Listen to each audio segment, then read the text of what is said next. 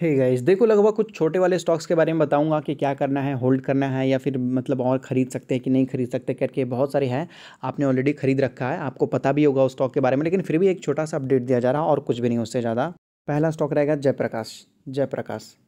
तो देखो Jaiprakash power venture limited, इस कंपनी के बारे में बहुत पुराने डिस्कशन है हमारे मतलब बहुत पुराने डिस्कशन है। ये स्टॉक्स लगभग दस बारह रुपये पर गया भी था। उसके बाद ये स्टॉक लगभग मुझे लगता है गिरने की गिरते हुए नज़र आया देख सकते हैं। मैंने आपको बोला ना, दस बारह रुपये के आसपास गया भी था। उसके बाद फिर गिरावट थी और गिरावट के बाद फिर भागा। तो देखो, छोटी कंपनी है तो आप एक छोटा पैसा लगा के छोड़ सकते हो ऐसी कंपनियों पर देखो, एक चीज़ मैं आपको बता देता हूँ कि कुछ ऐसी भी चीज़ होती है जिसको खरीदने के लिए पैसे की ज़रूरत होती है। कुछ ऐसी भी चीज़ होती है जिसे खरीदने के लिए पैसे की ज़रूरत नहीं होती है। थोड़ा सा कॉन्फिडेंस थोड़ा सा मैं आपको बोलूँगा करेज की ज़रूरत होती है। और थोड़ा सा मैं आपको बोलूँगा मतलब ध्यान की ज़रूरत होती है, और कुछ नहीं होता है समझ रहे हो? क्योंकि पैसा तो लगा दोगे, लेकिन जब भाई फोर्टी फिफ्टी परसेंट का गिरावट देखने को मिलेगा ना ऐसे स्टॉक्स में तो भाई कोई पैसा काम नहीं देने वाला। तब आपका करेज आपका पेशेंस यही सब काम देगा, समझ रहे हो? यही सब काम देने वाला।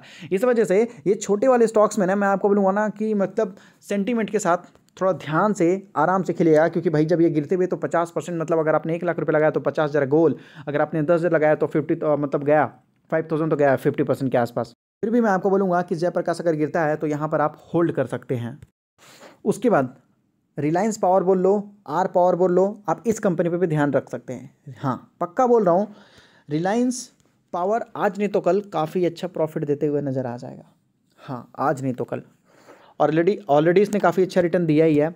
पिछले एक साल में देखो तो थ्री हंड्रेड परसेंट का रिटर्न कम होता क्या नहीं? बहुत अच्छा होता। है और बहुत ज़्यादा गिरावट में देखने को कंपनी मिल रहा है। अब नहीं लगता कि यहाँ से ज़्यादा उम्मीद है, क्योंकि जितने भी इनके डेट्स वगैरह हैं मतलब जितने भी मतलब इन्होंने डेट ले रखा है, ये वो सभी चीज़ को धीरे धीरे क्लियर करते हुए नज़र आ रहे हैं। कंपनी इंप्रूव भी कर रही है। यहाँ तक कि कभी कभी तो स्टेट मतलब स्टेट फॉरवर्ड स्टेटमेंट आ जाती है कि भाई मतलब अपनी हिस्सेदारी बढ़ाऊँगा कंपनी को डेट फ्री कर दूँगा तो और बचेगा ही क्या? कुछ तो नहीं बचेगा, है कि नहीं? तो सारा फिर पोटेंशियल कंपनी के पास आएगा। और देखो पावर वाले स्टॉक्स चल रहे हैं। सारे पावर वाले स्टॉक्स ने कितना अच्छा रिटर्न दिया। आप देखो टाटा पावर ने कितना अच्छा रिटर्न दिया। अडानी पावर भी देखो कहाँ से कहाँ मतलब है नहीं? तो पावर वाले देखोगे तो बहुत सारे ऊर्जा ग्लोबल देख लो तो ये सारे पावर वाले स्टॉक है। तो ये भी देखोगे तो ये भी पावर वाला स्टॉक है। तो हमें थोड़ा ध्यान देना पड़ेगा और थोड़ा टाइम लगेगा, क्योंकि ये स्टॉक अभी एक लंबा कंसोलिडेशन में गया है। यहाँ से देखेंगे छः महीने से। तो छः महीने से ये पंद्रह रुपये के आसपास आसपास कर रहा है। लेकिन जब ये लेवल तोड़ेगा तो मुझे लगता है तीन चार सौ परसेंट का रिटर्न निकाल के देगा। उसके बाद अडानी ग्रीन पे भी ध्यान दो। अडानी ग्रीन भी लगभग काफ़ी अच्छा प्रॉफिट देने वाला है। बहुत ही अच्छा क्योंकि अब ये लगभग अपने कंसोलिडेशन लेवल से पार हो चुका है। आपको मैं आपको बता दूँ, एक ऐसा टाइम था, दौड़ने के बाद ये स्टॉक्स लगभग लंबे समय तक कोई प्रॉफिट नहीं देता था। लंबे समय तक कोई प्रॉफिट नहीं देता था, कम से कम एट मंथ तक कोई भी मूवमेंट नहीं थी। उसके बाद स्टॉक देखो तो एक नया लेवल बनाया है कंपनी ने, और कंपनी के प्रमोटर्स ने हिस्सेदारी भी बढ़ाई है। समझ लो कंपनी के प्रमोटर्स ने हिस्सेदारी बढ़ाई है तो आप भी बढ़ा सकते हो।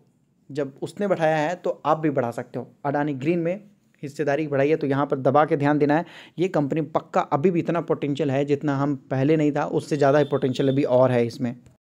देखो, लोगों को लगता है भाई वोडाफोन आइडिया देखो, मैं आपको बोलूँगा कि वोडाफोन आइडिया से ज़्यादा बेटर आर कम होगा।